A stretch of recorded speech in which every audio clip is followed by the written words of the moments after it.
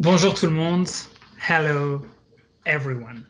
Je suis extrêmement heureux de vous accueillir aujourd'hui pour la conférence annuelle du projet Equality. I am delighted to welcome you today for the Equality Annual Lecture, a virtual event um, hosted by the University of Ottawa AI and Society Initiative in collaboration with the University of Ottawa Center for Law, Technology and Society and the SSHRC partnership autonomy through cyber justice technologies. For those who don't know me, uh, my name is Florian Martin Bariteau. I am the director of the and Society Initiative. Uh, I am an associate professor and the University of Ottawa Research Chair in Technology and Society, as well as the director of the University Center for Law, Technology and Society. Uh, this year, uh, Equality uh, Annual Lecture wanted to amplify the conversation around algorithmic bias and notably discrim discriminatory practices against Black engineers and people of color. And um, we had the pleasure to propose uh, a virtual screening of that amazing documentary titled Coded Bias in the past days.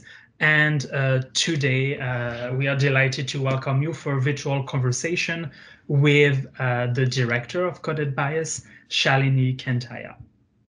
I will remind you, so that event is, is recorded. I will kindly ask everybody to switch off the, the video uh, of your camera so you can just see uh, our panelists. And please ask the question in the in the chat. You will see it's the bubble uh, at the top of your screen. So ask all your questions there, and then we will um, ask them to uh, our uh, panelists. And without further ado, I will hand it over to my dear colleague, Professor Jane Bailey, the co-lead of the Equality uh, Project, who will present our panelists. Thank you so much. Thank you very much, Florian, and welcome everyone to this um, exceptional um, event. Um, I have the uh, pleasure as uh, one of the co-leaders of the Equality Project, uh, together with uh, Valerie Steeves um, from the Department of Criminology, um, to welcome um, our two uh, speakers today. Uh, the director of Coded Bias, Shalini Kantayya, who is a TED Fellow, William Fulbright Scholar, and a finalist for the ABC Disney DGA Directing Program. She is an associate at UC Berkeley Graduate School of Journalism, and her feature documentary, Coded Bias, which all of you will have looked at for today, premiered at the 2020 Sundance Film Festival. She also directed an episode of the National Geographic television series Breakthrough, um, executive produced by Ron Howard and broadcast globally in 2017. Her debut feature film, Catching the Sun, premiered at the LA Film Festival and was named a New York Times Critics Pick. Catching the Sun released globally on Netflix on Earth Day 2016 with executive producer Leonardo DiCaprio and was nominated for the Environmental Media Association Award for Best Documentary. And so I'm very exceptionally pleased and, and grateful to, to have uh, Ms. Kantayya with us today. Um, interviewing Ms. Kantayya is another person who I'm exceptionally pleased to have with us today, uh, Sava Saheli Singh, um, who is the um, Equality Scotiabank postdoctoral fellow in AI and surveillance here at the University of Ottawa, um, which is part of the uh, AI and Society initiative. Um, with the Equality Project, Sava is working on a research project that examines how teachers use learning technologies in their practice and how this has been impacted by COVID 19. Um, as a fellow of AI in Society, she will produce a short, near future fiction film focused on the issues around the use of AI and algorithmic decision making in the context of educational technology. The film will be a fourth in her award winning screening surveillance series, um, a public education and knowledge translation project that calls attention to the potential human consequences of big data surveillance, which, as you'll see, eminently um, qualifies her um, to to be the person who will be conducting the the interview um, today on the on this um, amazing um, new film, Coded Bias. Sava, the films that I just mentioned from Sava were co-produced um, by by her as a postdoctoral fellow of the Surveillance Studies Center at Queen's University in Kingston. And so with that, I will turn it over to to uh, Sava and uh, Shalini, and uh, and I, am sure everyone joins me in, in warmly welcoming our two um, very uh, prestigious uh, filmmakers, speakers, um, creative um, beings. So thank you very much. Thank you to Jane and Florian for those introductions and for welcoming us. I am extremely excited to speak with Shalini um, about this amazing and important film, Coded Bias, that I hope everyone here has seen or will be.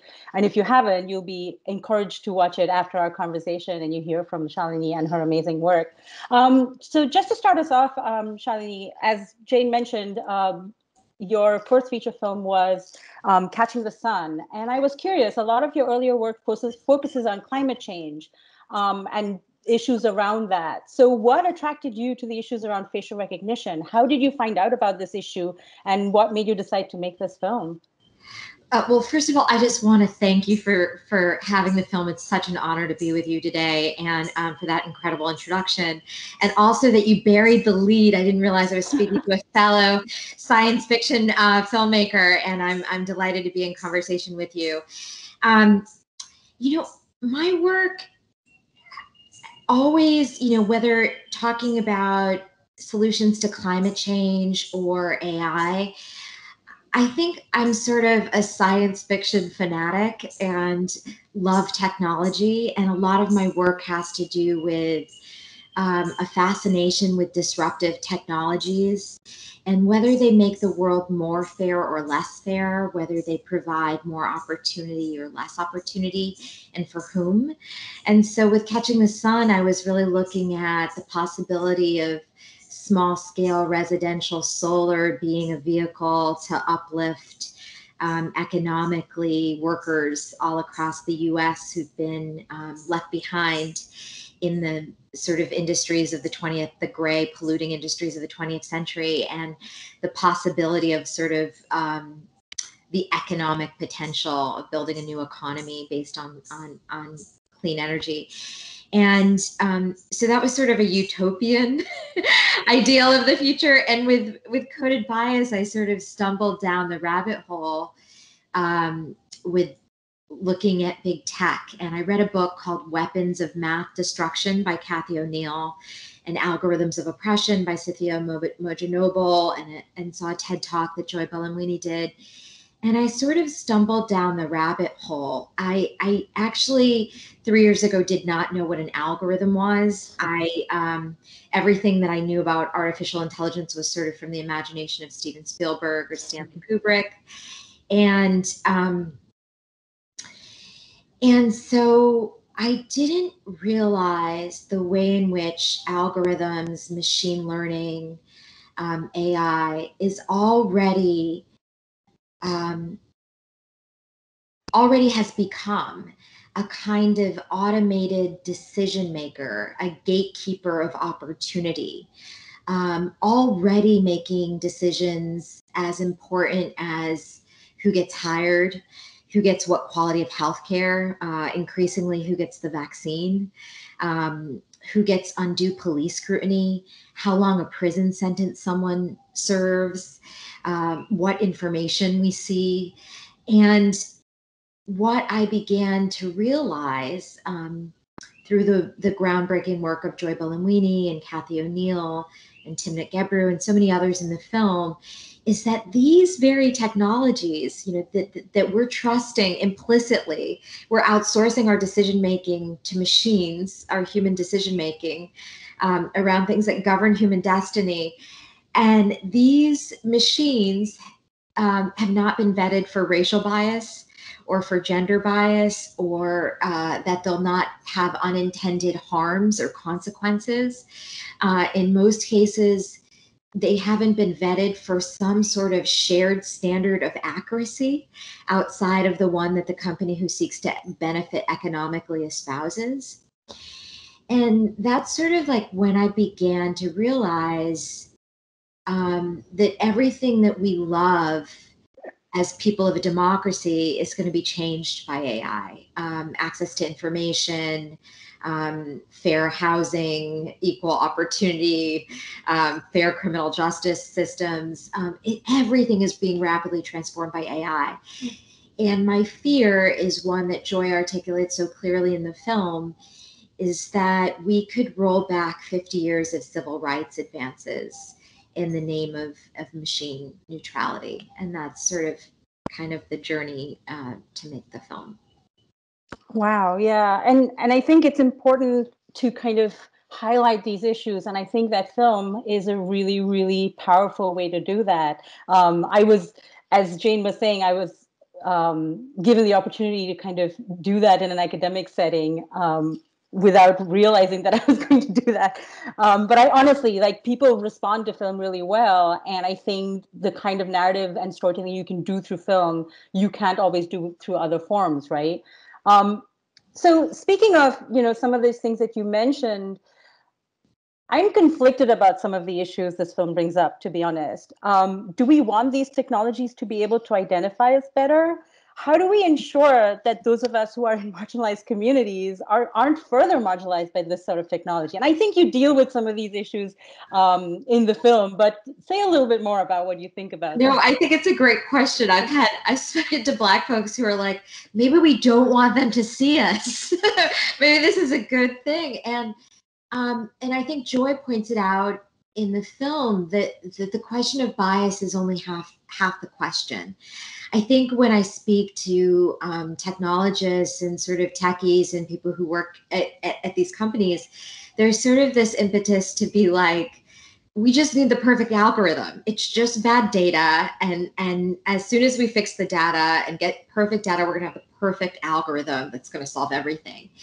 And I think uh, the film itself, I think, is asking for a reframe of the entire question, which is how do we build a more human centered society and use technology in service of that? And I think that um, what I worry about is even aside from the problem of bias, which I, I just want to mention that what is so startling about Joy's um, research on racial bias is that these were not technologies that were sitting on a shelf somewhere. This is not in a laboratory being beta tested at MIT.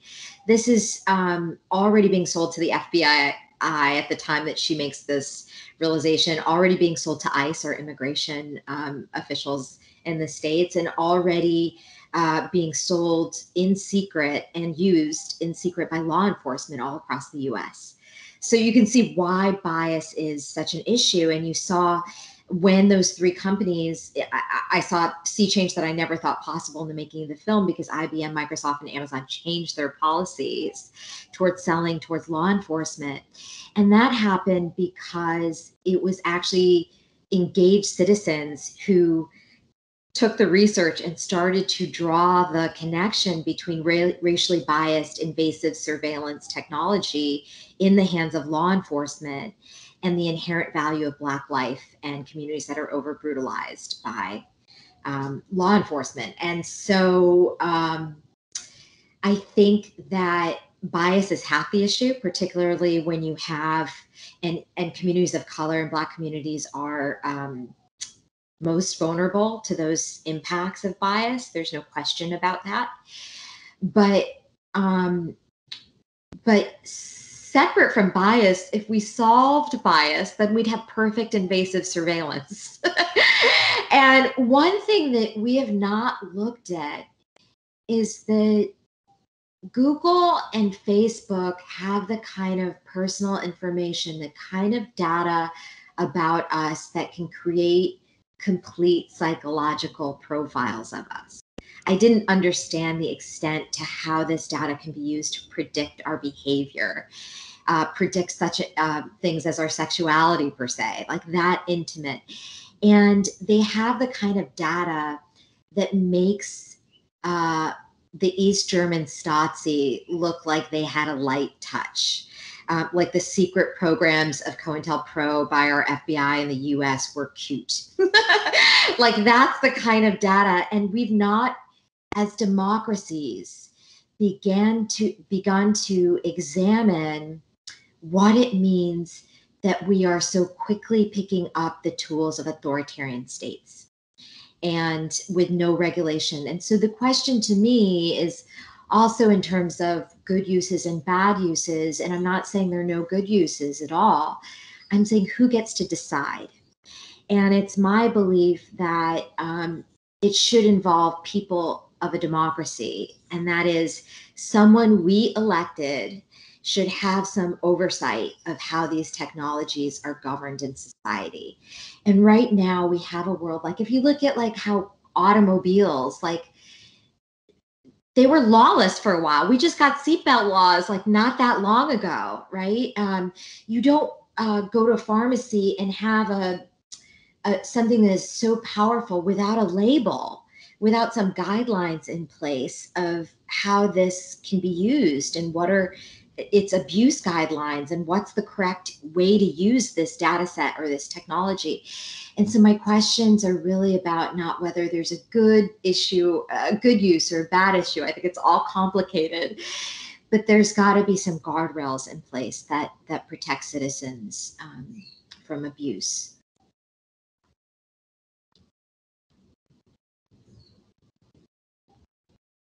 You're muted.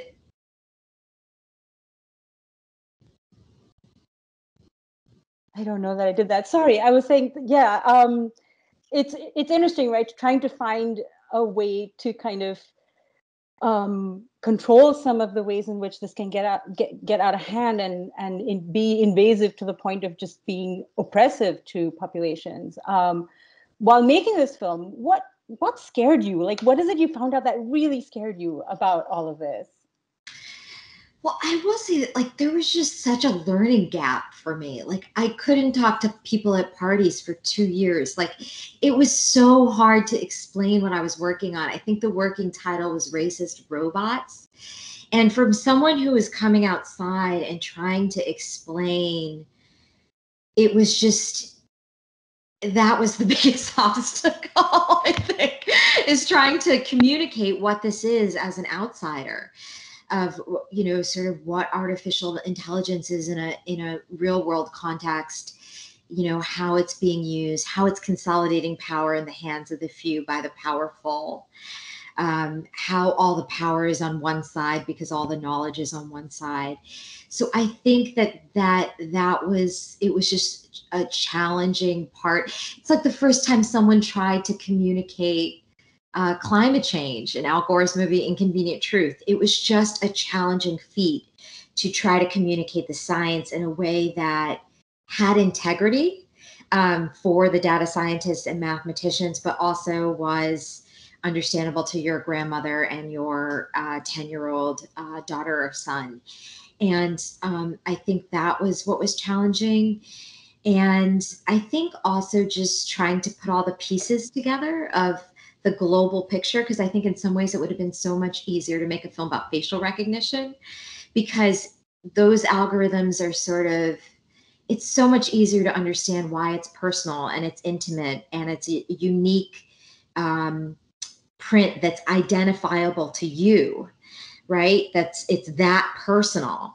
But our data is that personal to us on the web and is identifiable and, and traceable and linkable to us as a person also and so I think it was also um, just trying to show this world and trying to show it cinematically. And the other thing is um, in film, and I think that I agree with you. I make films because I believe film is the way to change the world.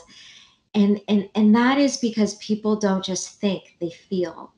And it's my real belief that um, uh, Bertolt Brecht says, uh, we do not act not because we do not know. We do not act what lies beyond the prison gate, the factory wall. We do not act because we do not feel. And um, and uh, Roger Ebert called uh, movies empathy machines.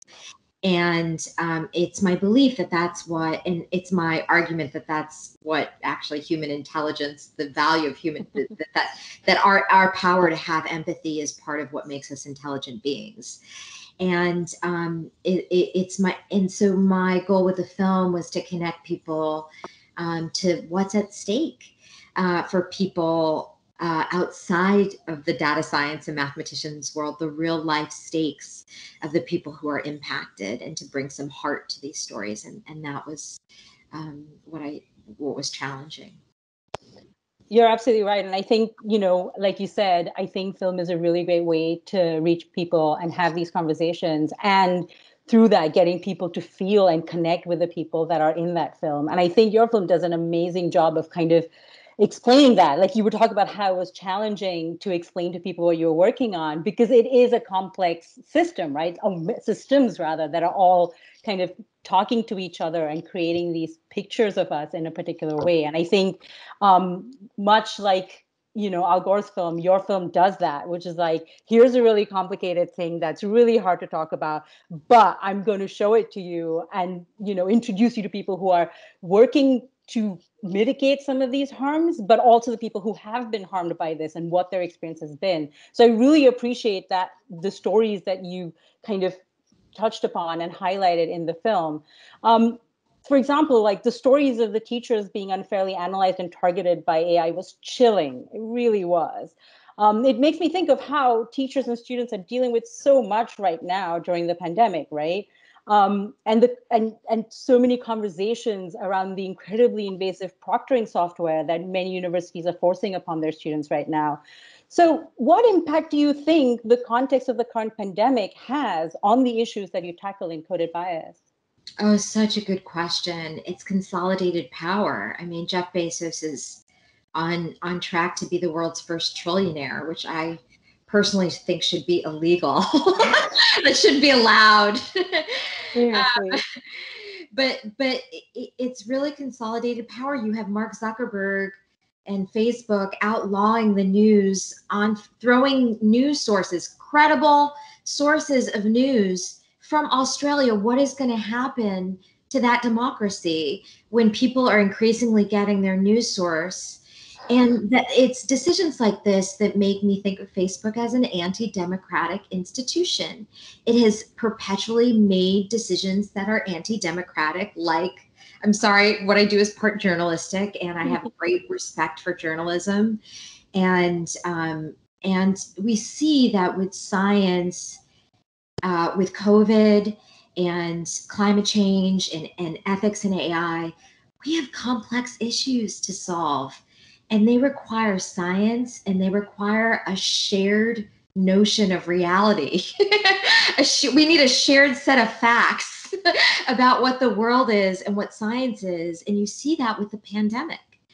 Um, how misinformation is a danger, and you see now that tech companies they we have this law in the books from before the advent of the internet that technology companies are not responsible for what's posted on their platforms. And I think that shouldn't be allowed when they're the basis of so much of our information. When Facebook throws off literally every credible source of news in Australia from its platform, it's quite, I mean, I I couldn't believe it. And if it happened here, I would hope we would boycott in mass because it it, it seems like such a extreme step. Mm-hmm. Um, and so I am alarmed because what has become clear is that we can't opt out of these systems. Um, that this is the only way we can be together. Maybe we can choose BlueJeans over Zoom or Microsoft Teams. we have a, a small amount of consumer choice there, but we have to have some basic rights. Uh, it shouldn't be that it's totally in those our civil rights are in those terms of conditions. Like we we should have some basic rights by way of uh, being people who live in democracies. For sure. Um, I think, you know, earlier when you had said about democratically electing someone and having things put in place, protections put in place, um, and I apologize for asking this question in advance. What happens when you elect someone like, for instance, Donald Trump? Like, how do you kind of, you know, even in that setting, taking at face value that he was democratically elected, like what what can we do in order to prevent that sort of power from using this uh, against um, marginalized communities and well they did. If you look at the 2016 elec- election and the cambridge analytica scandal mm. um, what they did was create psychological profiles of the 100,000 people that were likely to swing vote uh, by name um, using a nefarious questionnaire and scraping their data and not just it would give you permission not just for your data but your friends data. So you could get swept into it. I got a notion someone was playing that interview game and my data got swept up into the cambridge analytica scandal uh, uh, um, that sort of dump. And so what you had was a company that then had all of our data this information leak that facebook called it uh, is in a third party data source they created psychological profiles of 100,000 voters that could swing the election basically by name and marketed to them um, uh, just pushing misinformation and targeted ads and sometimes things that you can't even tell are political ads. And also facebook has not made a commitment to um, vetting political ads to, to fact checking. Um, they've they've you know whatever donald trump and him had that secret meeting that no one knows about what happened there but um, but th- they did not vet our ads and if you look at that that's a danger to, to democracy like not being able to vet political ads for the truth uh, and we were up in arms about it because it was a third party leaked information. But what Cambridge Analytica did as a scandal is Facebook's business model every day of the week and twice on Sunday. exactly what it was supposed to that was that's exactly what it's designed to do.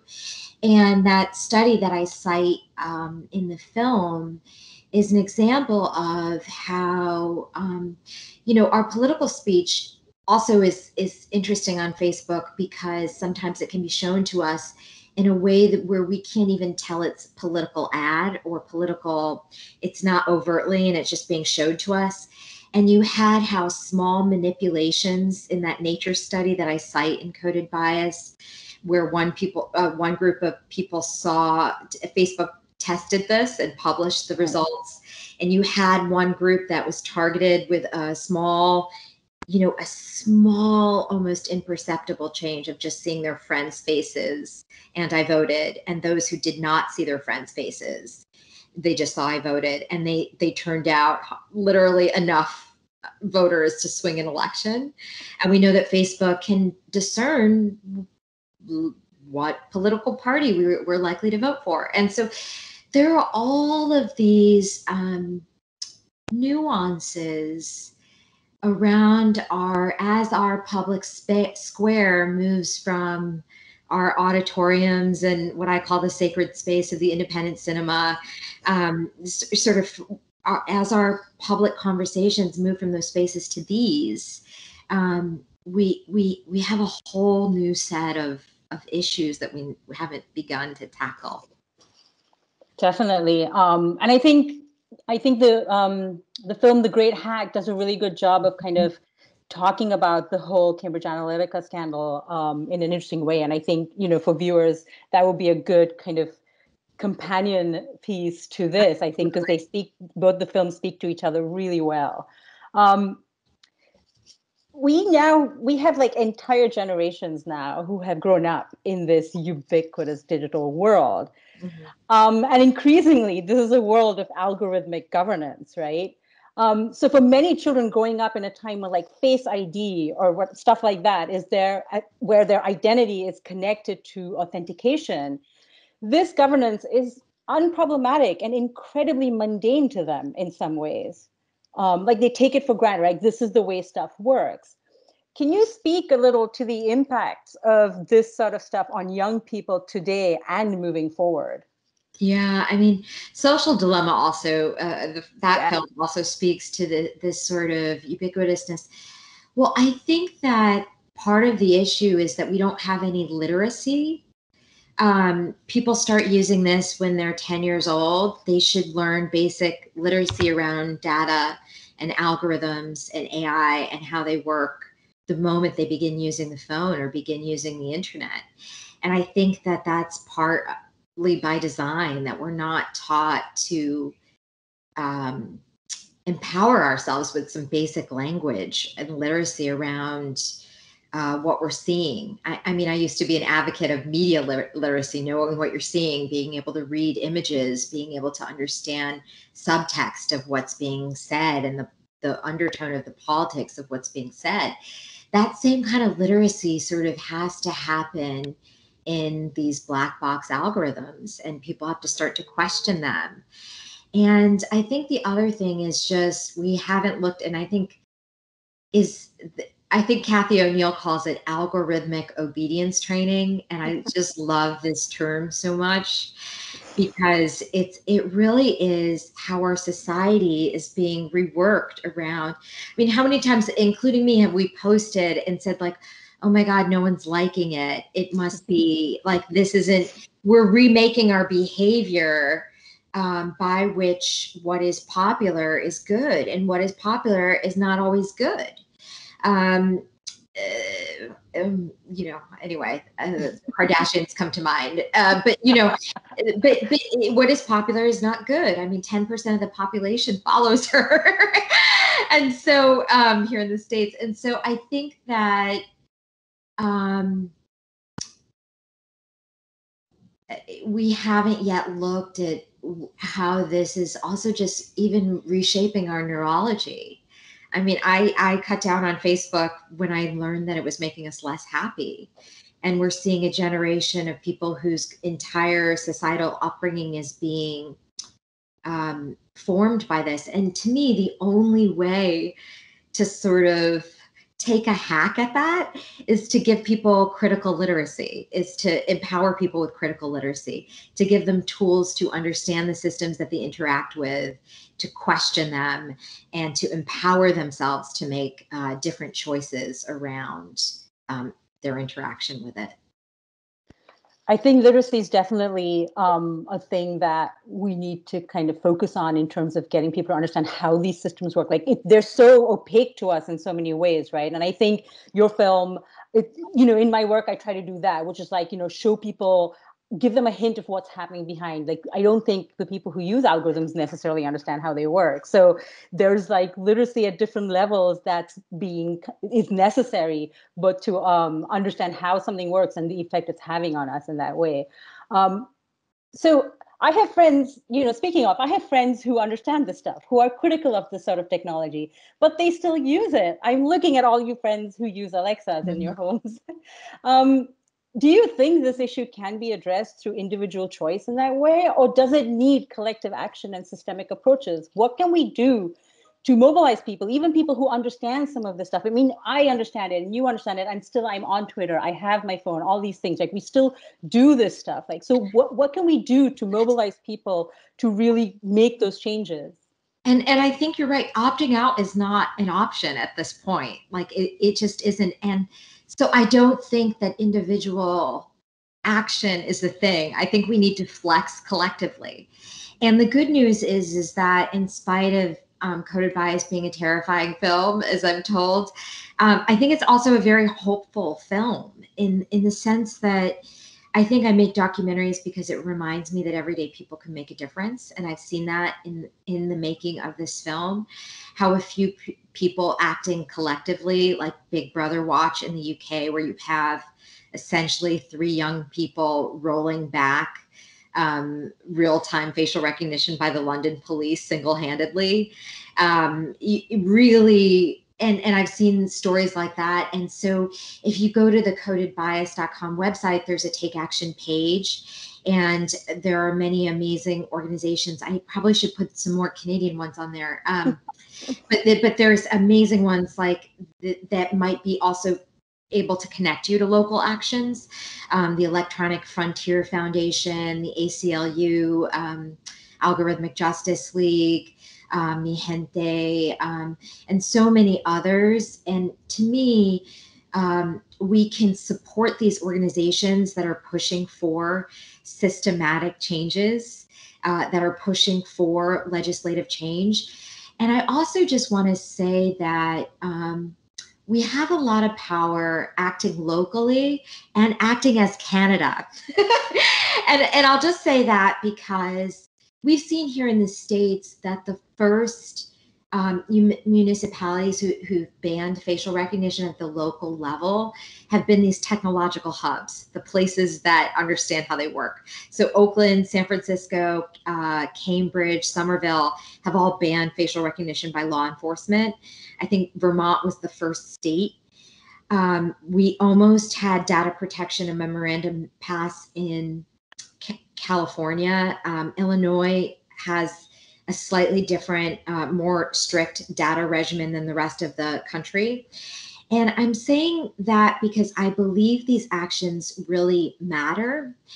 And that when we pass local policy, we disrupt the strong, ubiquitous stronghold that big tech has on the world.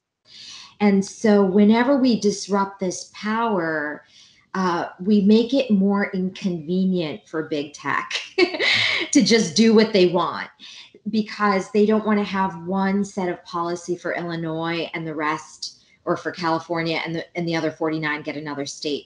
Similarly, um, as Americans, we got some protections uh, under the European GDPR. Uh, citizens that um, had our data because our data transited Europe we got um, European data rights protections. Similarly, if Canada were to pass um, stronger data protections as a as a you know our our more ethical neighbors to the north, um, that that um, it would make it incredibly inconvenient for them um, for big tech to have a stronghold on North America and they would not want to do one set of policies for Canada and one set of policies um, for the US. And so to me, that is sort of the, the strategy is sort of supporting local organizations that are that are making systematic change and really pushing for change at the local level, starting with your university, starting with being aware uh, when your university introduces technologies that you think are invasive or maybe uh, in violation of students' rights, ca- causing public dialogue, having civil di- dialogue um, in in uh, with technologists and policymakers and students and people that are impacted. I think those kinds of local decisions really matter. Definitely, and I think um, you know there are things in place, and I think there are community move, uh, groups that are pushing for some of this stuff. And I, I, I hope people on this call that are involved in the levels in Canada of trying to do data protection stuff is, are listening to you, because um, that's that's an interesting way to do it. Like you know, pointing to other countries and forcing America to do something because other people are doing it. Right? That's that's an interesting kind of. Um, so I'm going to ask you um, a slightly controversial question. I think. What do you think about the upheaval that's currently taking place in the broader AI research community in terms of Google's questionable actions against the leadership of their own ethical AI team? Uh, Timnit Gebru, who you feature in your uh, film, and more recently Margaret Mitchell as well. I'm always conflicted about so many of my extremely smart and critical colleagues and friends working for the big tech firms in Silicon Valley, ostensibly to affect change from within. But if I were being honest, I'm not surprised by Google's behavior while also feeling extremely sad that these people are being penalized for trying to do the right thing to do things ethically and you know in a weird way do things that are actually good for google to be doing right? Um, how do you feel about what's happening right now? Um, no i thank you for the question. I think one um, google can't afford to lose um, uh, someone of the caliber uh, and one of the few Black women in um, ethical AI at Google. Um, that's genius in the room that, um, quite frankly, they can't afford to lose. Um, and I, I, I want to say that I see a pattern um, with companies that uh, often and this happened to Joy also with Amazon, um, seek to dismiss and attack the research of independent scientists uh, that sh- are shining a light on AI and around these technologies. And I have seen that as a pattern. And I think that this has sent a chilling effect through the industry. uh, around what exactly is their commitment to ethical AI. And I think points a finger to the fact that we can't count on these companies to self regulate. Um, I mean, my hat is off to IBM, I have to say, because they got out of the facial recognition game and essentially uh, changed their business model, disrupted their own business model. I think it's extraordinarily rare. That's a unicorn. that, that, that, that, some, that, that a company would take that level of step. And I, I want to applaud that company for doing that. But um, I think more often we're seeing this pattern, which is first independent science gets attacked in the name of those who, who, who stand to benefit economically. And it's only when there's a groundswell of support. Um, I think it's notable that um, the three largest tech companies didn't change their um, policy on facial recognition when the research came out. They um, changed their policy when the largest movement for civil rights and equality happened in 50 years in June for 2020, when people were taking the streets um, uh, against the unjust murder of George Floyd.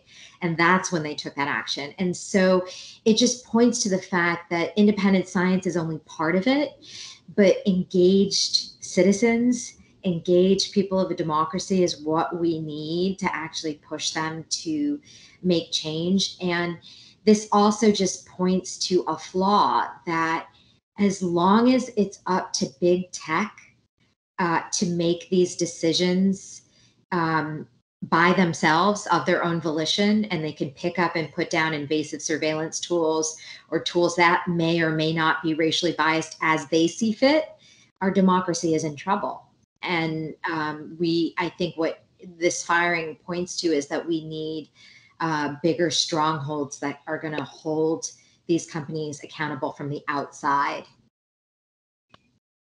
sure. Thank you so much for um, your thoughtful answers to all of my questions. I, I'm keeping an eye on the time and I want to leave time for audience questions as well. So I'm going to pick up a couple of those that my um, colleague Robert has been collecting for me in a document on the side.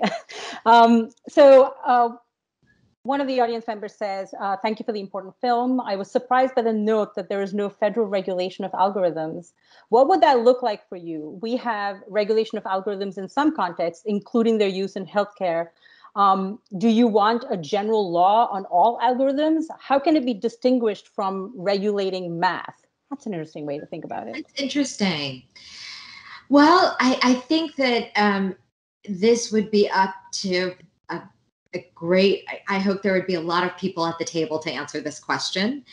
Um, and i think that what i see is something what Cathy O'Neil talks about in the film which is sort of an fda for algorithms that there would be some sort of review process for all algorithms whether it be self-driving cars or facial recognition or or other technologies, even apps, I, I yes, I would yes, I would subject all of them to some sort of scrutiny of process um, where they have to sit through scrutiny by experts. And and those would be people like joy and cathy who are who have the expertise to sort of vet will this cause unintended harm uh, what are the warning labels on this is it safe is it discriminatory um, could someone, could a third party actor use it for nefarious purposes? Um, what happens to the data? What what is happening now is it goes right from big tech to our streets, and then when it's trouble, we roll it back after it's been deployed at scale. And and that seems like a backwards way to to roll out technology. It feels like there needs to be and again i think we're at a point where you know i i believe in an fda that doesn't mean i don't like food. I love food. I i just think there should be a quality of health and safety uh, for everyone and a vetting process that that certain standards that we hold everyone to. And i'm a and i really think there should be a label on stuff on data sets and on algorithms of how it should be used. You have people at police departments um, uh, putting in pictures of Woody Harrelson because someone thought it was uh, Woody Harrelson. That that teacher algorithm that uh, Mr. Santos was um, subject to was created to um, judge fertility in bulls. It's being used to grade teachers. I'm not joking. I'm not making this stuff up. And so um, there, there's a way in which that sometimes this stuff can get oversold and abused. Like it's a black box. Like a judge sees Latanya Myers' uh, risk assessment, not knowing how it arrived at that risk assessment, and and and doesn't know how to weight it in the rest of her criminality. We're just giving too much power to these algorithms. And so it would look something like an FDA. Um, uh, we would have regulations like we do for cars and for other things, you know, seatbelts. Yeah, that sounds doable. Yes. Mm-hmm. Um, there was another question, I think, which was part of a longer question, but you answered part of it in our conversation. Um, but I think I'll I'll try and read the whole one but it's the last part so that there's a little bit of context. Um, how can documentary films like Coded Bias intersect with digital literacy, which is the part you talked about, um, as well as effective citizen ad- advocacy concerning the appropriate design and use of uh, facial recognition technology? Um, and I think you answered a bunch of that, but I, the the audience member wanted to know what has been inspiring or disappointing from Coded Bias in terms of the nexus of these two. Well, I, w- I will say that I've realized that the importance of inclusion. And when I when I talked about Dr. Timnit Gebru, her genius was missing from the room. I actually mean her genius was missing from the room, and it's Google's loss. Like that is a real thing. This technology is being built by an elite, homogeneous um, group of makers who often don't have knowledge about the world. And I think that part of it is a pipeline issue. So I think that one of the things that I've realized in the making of this film is this compassion for human beings because we all have bias. It's not like just in some bad people, it's like an innate human condition, regardless of race, gender, class, religious um, affiliation, sexual orientation, any of that. We all have bias. And so it, it, it means that we all have to control for that bias. And so, what that means is that inclusion is not just something that's good for the pictures, but that in order to thrive and build competitive technologies in the industries of the future, that we actually need radical inclusion. We need inclusion um, and diversity that reflects the world that we live in because we're designing for the world that we live in. And I think the other thing that needs to happen is not just diversity, um, sort of, you know, in the companies, but also, you know, bringing in outside ethicists, policymakers, civil society, and not just techies. I think that techies are making too many decisions on their own. And I think part of that is also diversifying the curriculum for how AI is taught and you see a new generation of mathematicians and data scientists who say um, we need a women's studies course. We need an ethics course and we need a black studies course as part of our computer science uh, training because we can't design for society if we don't know anything about society. And i think that the that kind of um, interdisciplinary inclusive approach is is is part of how we solve the problem. Thank you. Yeah. Um, there's a comment from um, an audience member, and I want to share it because I think it's relevant and significant to what we were talking about in terms of literacy. Um, they say that I'm a research and evaluation associate associate at MediaSmarts. Um, and we've just completed a qualitative research project on algorithms, AI, and privacy with youth. The need and desire for more algorithmic literacy was strongly expressed by participants aged 13 to 17. So there's, I'm, I'm bringing that up. Um, thank you for that comment, by the way, because I think that kind of shows us that there is a need and a desire for people to understand these systems that are affecting their lives so significantly. So it's heartening to know that you know, a lot of times people say that, oh, kids don't care about their privacy. And I have found the opposite. Young people are engaged, are interested, are curious, are worried. You know, they want a better and more equitable future for themselves and their and you know their families and their friends. Um, so related to that, I mean, the films that I created were in an academic setting. We created them as educational resources, so they're available online for free. And people have been showing them in classes. And like my favorite thing to do is to talk to students about these issues, and they always have really great questions and really great reactions and thoughts about these things. Um, can you say a little bit about the impact that your film has had, that Coded Bias has had? Yes, I'm kind of amazed by it myself. I'm amazed by it. I I um I think what has been amazing to me is that the film has made an impact outside of tech, but also increasingly inside tech. And that I think that I was very um, coming from outside this world, I felt very sort of vulnerable when I first started screening my film to uh, very technic technologically advanced communities, you know, Stanford AI and and and sort of the the the big tech companies, but most of the major tech companies have hosted a, a screening of the film and have engaged on some level in critical conversation around the film, which I think is amazing. So um, I'm very proud that that has happened. And also, most importantly, one of the things that I'm proud of is that um, it sparked a conversation. I have literally had hundreds of conversations about artificial intelligence, um, almost exclusively helmed and led by women, people of color, women of color, LGBTQ. And it's my belief that that is um, unleashing a new kind of genius into the conversation and unleashing a new kind of imagination. It's um, my belief that we've had a stunning lack of imagination about how these technologies can be used because it's been dominated in the hands of a few companies who are only using it to market to us. We don't actually know what AI for good looks like or what the model for that could look like. And enough of us haven't been invited to the table to have that conversation. And so I hope that coded bias is that invitation that we all have a place at the a table um, to talk about these issues and, and, and how these, these systems are governed. For sure. And i think yeah i i honestly i i think it's doing really really important work in terms of letting us understand the effects of these things. So there's another question here um, from an audience member in addition to looking into advocacy groups as on the Coded Bias website, what else would you suggest that individuals can do to help address this issue with algorithms?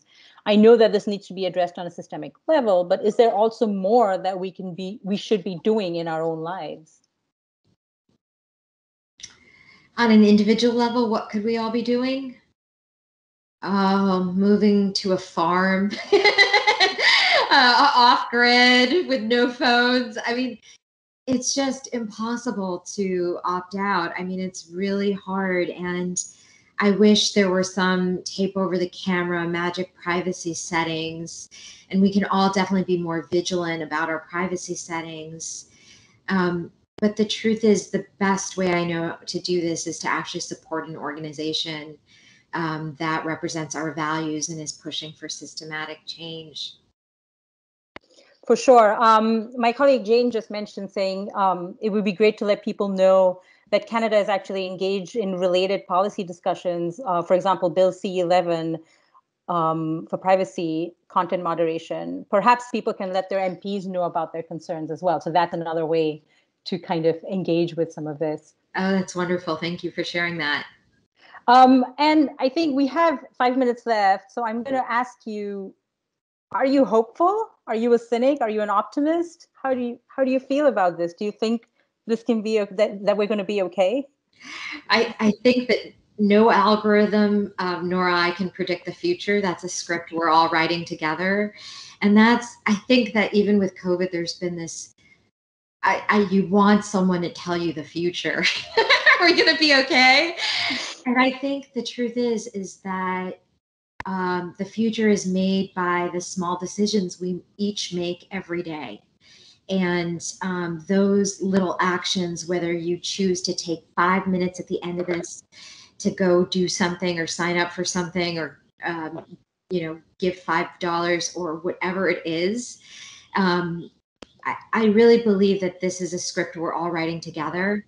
I think that we have a moonshot moment to call for ethics in technology that um, I've seen sea change that I never thought possible. And it is a sign that big tech responds to people power coupled with informed science unencumbered by corporate interest. And so it's up to us to sort of um, give them heat to act ethically and um, and to um, make sure that um, as as we, we spend more of our times on these platforms that they represent our democratic ideals and values. Um, Thank you so much, Shalini, for sharing your time with us and your thoughts with us. This was an amazing conversation. I'm so happy that we got to have it. And I hope that we get to chat some more because we obviously have overlapping interests. And um, I'm looking forward to your science fiction. um, I'm going to um, hand, hand it back to Florian now um, to kind of close us out. And I want to say again, Shalini, it was a pleasure speaking with you and meeting you. And I've been looking forward to this so much. And I look forward to connecting with you in other ways um, in the future. Thank you so very much. It was an honor. Thanks so much. Yeah, my turn to say thank you to both of you. It was a fascinating and amazing conversation. And as Jane uh, said, like Sava, I think you're like the perfect person to be uh, in conversation with our guest uh, speaker uh, today. And I will like emphasize you know, the point that Jane, my colleague Jane Bailey uh, did in the chat. You know, often as academic, when we come to parliament, to the government, you know, mentioning those kind of issues, saying that we need to develop legal framework to protect citizens, they look at us like, you're crazy. This is sci-fi. No, this is not, this is happening. So yeah, please let know your uh, MPs, your colleagues that we need to uh, beef up a bit our privacy. Make them watch this movie, right? Make them yes, watch. that should be mandatory, you know, in the House of Commons. For sure. To look at that movie.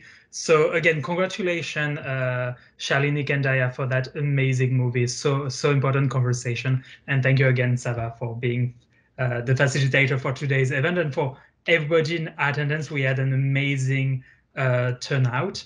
And uh, so without further ado, uh, we will hand it over uh, here. I will although invite you to go check on our, our website, aisociety.ca, where we have many other events coming up uh, in the in the coming weeks to continue that that conversation. So again, thank you so much. Uh, passez une belle fin de journée et au plaisir de vous revoir bientôt à l'un de nos événements. Bye bye.